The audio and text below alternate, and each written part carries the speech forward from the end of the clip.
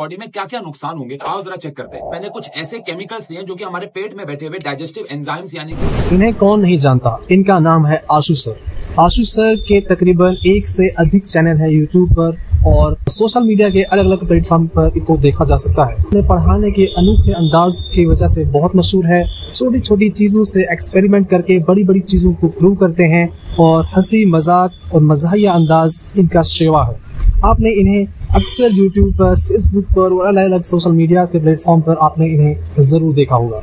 हाल ही में इनकी एक ऐसी वीडियो मेरे को सजेस्ट हुई, जिसने मेरे को बहुत चौंका दिया। और अगर अभी तक आपने ये वीडियो नहीं देखा होगा और अभी देखने जा रहे हैं तो आई एम प्रटी श्योर कि आपको भी बहुत ही खास ये वीडियो मालूम होगी। कहानी कुछ ऐसी है कि हाल ही में इन, इन्होंने अपनी ही एक वीडियो में एक एक्सपेरिमेंट करके एक ऐसी चीज़ को प्रूव किया, जो बात मैंने किसी और से नहीं, बल्कि अपनी तबलीगी जमात के भाइयों से सुनी। उनकी किताबों में भी ये बात लिखी हुई है और मुझे ये भी उम्मीद है कि आपने अगर ये बात सुनी होगी तो सिर्फ़ और सिर्फ़ अपने पूर्वजों से या फिर अपनी तबलीगी जमात के भाइयों से या उनके जुड़े हुए साथियों से ज़रूर सुनी होगी। क्या है ऐसी बात जो इन्होंने एक्सपेरिमेंट करके बहुत ही थोड़े टाइम में प्रूव कर दिया? तो आशु सर का वीडियो साथ में जोड़ भी दूँगा, लेकिन साथ में उनसे, आशु सर से और उनकी टीम से मैं कहना चाहूँगा कि प्लीज़ कॉपीराइट स्ट्राइक नहीं दीजिएगा हम जैसे छोटे क्रिएटर्स को। मैं आपको क्रेडिट दूँगा अपने डिस्क्रिप्शन में और मैं आपकी वीडियो पॉजिटिव पर्पज के लिए यूज़ कर रहा हूँ। साल पहले तबलीगी जमात के साथ जुड़ने का, उनके साथ रहने का सौभाग्य प्राप्त हुआ और मैंने उनकी ही जुबानी ये बात सुनी थी और उनकी किताबों में भी उनकी किताबों में भी ये बात पढ़ी थी। खाना खाने से पहले पानी पीना ज़्यादा फ़ायदेमंद है और खाना खाने के बीच बीच में भी पानी पीना फ़ायदेमंद है। लेकिन खाने जब आप खाना खा चुके पूरी तरह से उसके बाद पानी पीना जो है वो नुकसानदेह वबा है। इसी बात को आशीष सर ने कुछ ही मिनट के अंदर एक्सपेरिमेंट करके साबित भी कर दिया।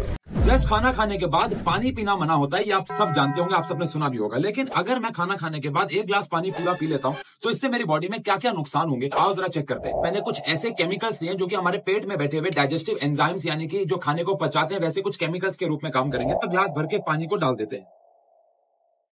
और इस वाले के अंदर अभी भी मेरे जो डाइजेस्टिव एंजाइम्स है, वो बहुत हाई कंसेंट्रेशन के अंदर है। थोड़ा से खाने के रूप में ब्रेड के टुकड़े डाल के थोड़ी देर के लिए छोड़ देंगे। इसके अंदर भी ये खाने के टुकड़े डाल के छोड़ देते हैं। हम लोग एक घंटे के लिए छोड़ देंगे। के अंदर शायद आपको दिख रहा हो कि क्या होना शुरू हो गया लेकिन आओ जरा साइंस को समझते हैं। जब भी हम लोग खाना खाने के बाद पानी पीते हैं तो हमारे पेट में बैठे हुए जितने भी एंजाइम्स है वो डाइल्यूट हो जाते हैं। यानी कि उनमें पानी ज़्यादा हो जाता है और उनकी ताकत कम हो जाती है। जिसकी वजह से वो खाने को ढंग से पचा नहीं पाते। को पानी पीना भी है तो आप एक सिप या दो सिप पी सकते हैं। लेकिन आपको पानी पूरा ग्लास भर के तो नहीं पीना है। लगभग आधा घंटा बीत चुका है। इस वाले कंटेनर में ब्रेड का हाल देख सकते हैं। और इस वाले कंटेनर में एग्जैक्टली ब्रेड वैसी की वैसी ही है। अगर आपके घर में कोई भी खाना खाने के बाद पानी पीता है तो आप उसको ये वीडियो ज़रूर दिखाइएगा। थैंक यू सो मच तो दोस्तों, क्या आपको भी ये मालूम था कि खाना खाने के बाद पानी पीना नुकसानदेह है? क्या आपको भी तबलीगी जमात के ज़रिए से ही पता चला था या किसी और तरीके से आपको ये बात मालूम चली थी? ज़रूर कमेंट में बता दीजिएगा।